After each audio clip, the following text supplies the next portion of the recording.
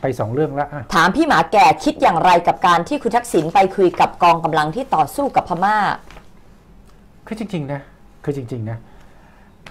ในทางระหว่างประเทศเนี่ยมันต้องมีทั้งในรูปแบบและนอกรูปแบบ อันนี้ต้องเข้าใจเป็นพื้นฐานก่อนว่าประเทศไทยต่อท่าทีในเรื่องของเมียนมาท่าทีต่อในเรื่องของชนกลุ่มน้อยที่กำลังจับอาวุธต่อต้านรัฐบาลทหารเมียนมาอืม โอเคมัน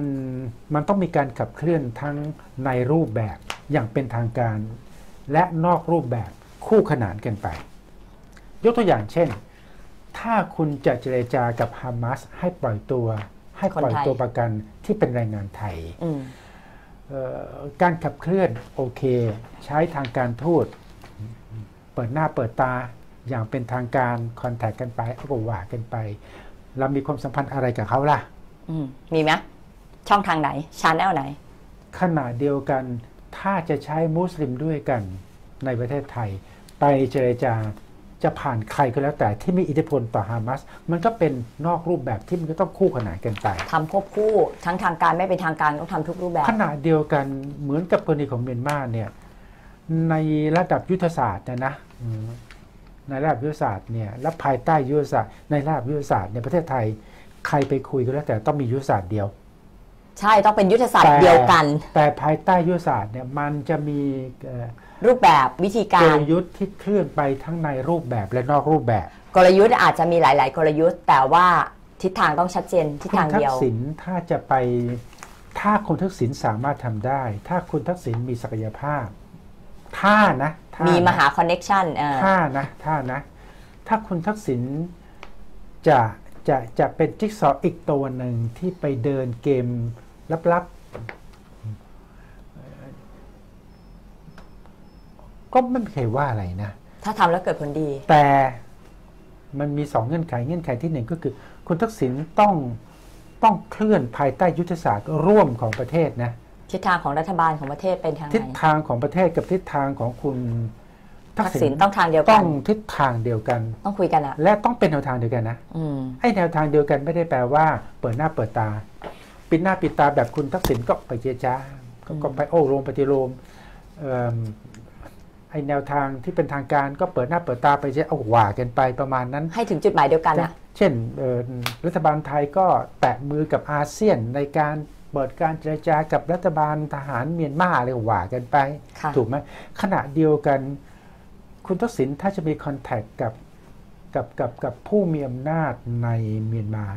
ถ้าจะมีคอนแทคอยู่กับบรรดาในพลทั้งหลาย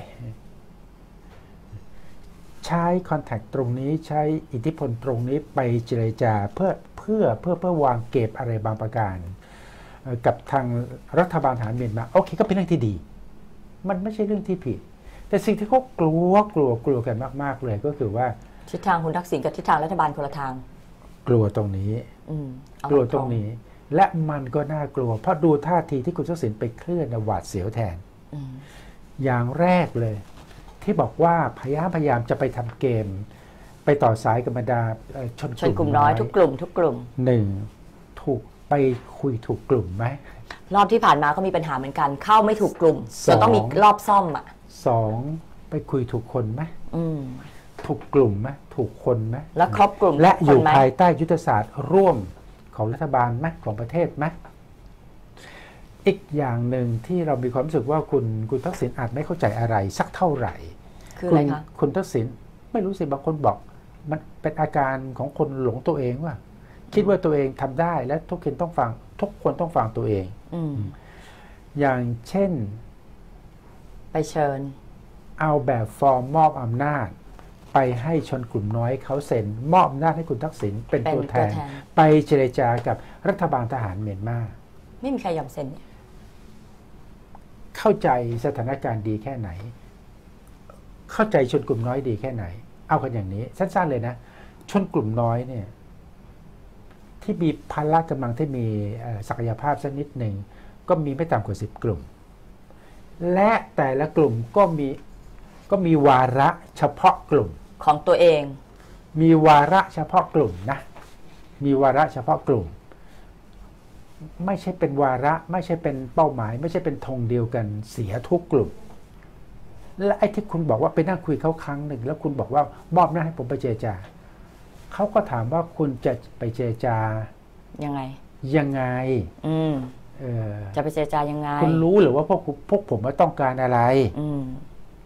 เขาก็ไม่มั่นใจคุณทักษิณนะพูดตรงๆนะเขาถูกไหมก็ไม่ได้มั่นใจในทิศทางที่คุณทักษิณจะเดิน คือคุณก็ต้องเข้าใจก่อนว่าคุณคุณทักษิณ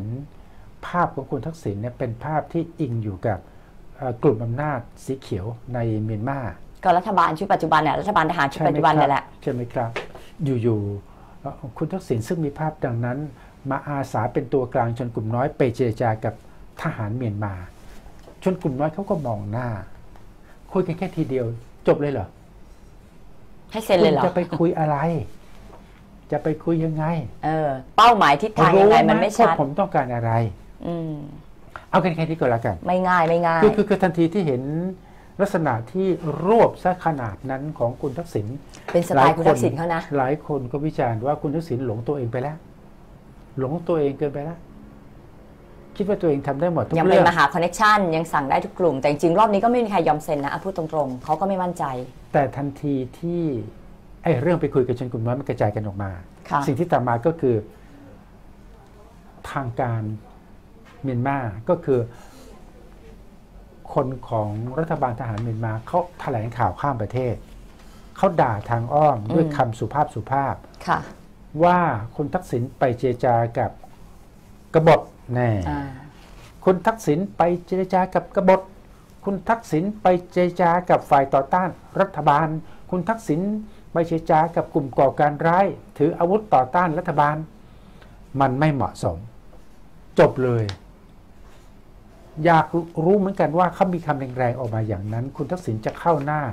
รัฐบาลทหารเมียนมาติดไหมอืมขณะเดียวกันถ้าจะย้อนไปทำเกมในกลุ่มของชนกลุ่มน้อย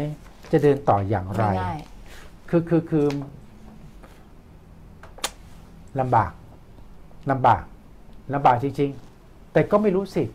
คุณทักษิณเนี่ยเคยทำให้เราเซอร์ไพรส์มาก็หลายเรื่องอืมแต่ครั้งนี้แกจะแก้เกมได้ เด้งออกจากเชือก ถูกต้อนเข้ามุมหมดแกแกแกใช้ลีลาเด้งออกจากเชือกก็ได้ เราก็ไม่รู้ อะโอเคต้องจบรอละติดตามรอจติบดตามแต่อะ เหนือสิ่งอื่นใด รัฐบาลประเทศไทยต้องมียุต้องมียุทธยุทธศาสตร์ก่อน จะเล่นกับสถานการณ์ในเมียนมาอย่างไร คุณจะเล่นกับทหารเมียนมาอย่างไร คุณจะเล่นกับชนกลุ่มน้อยอย่างไร ถูกไหมใช่เอามันกันสำตคัรญงนะนี้ก่อน จากนั้นก็แบ่งบทการเล่น แบ่งบทการเล่น บางคุบณทอาจจะให้ผู้นำอาเซียนไหมคุณทักษิณคุณอันนั้นก็เป็นเป็นอืมเป็นบทที่เป็นทางการอืมคือบทที่เป็นทางการในกระทรวงการต่างประเทศเนี่ยและและเขารัมีฐบาลอยู่ประเทศแล้วไทยมันต้องเดินอยู่แล้วอืม ถูกไหมค่ะ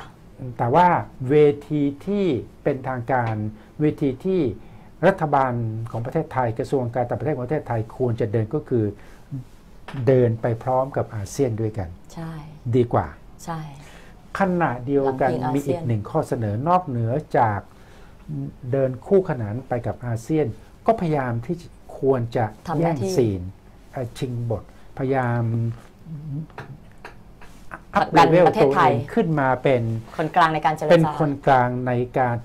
จะคำว่าคนกลางอาจจะเร็วเกินไป ต้องใช้คำว่าอะไรดีคะผู้อำนวยความสะดอ๋อวกผู้อำนวยความสะดวกอ่ามันจะซอฟต์ลงมาเยมันอะเริ่มจากผู้อำนวยความสะดวกก่อนค่ะ ถ้ามันเข้าล็อกค่อยอัพเลเวยลกระดัขึ้บนมาเป็นเป็นคนกลางในการเจรจาให้เขาเชื่อมั่นก่อนมันไงต่างกันนะ ต่างกันมัสองต่างกันระดับต่างกันเบื้องต้นต้องเป็นผู้อำนวยความสะดวก ถ้าเขามั่นใจเราเป็นผู้อำนวยความสะดวกเอ่อ ประสานใครต่อใครทุกทิศทุกทิให้ศได้มานั่งคุยกัน หาทางออกร่วมกัน แล้วก็เอาจนเขาเชื่อใจอะว่กันไปถ้าเขาเชื่อใจเขาพร้อมให้เราเป็นคนกลางผมบอกได้เป็นอย่างหนึ่คนงนะกลาง การให้ความช่วยเหลือในมิติมนุษยธรรมตามชายแดน ช่วยเหลือชน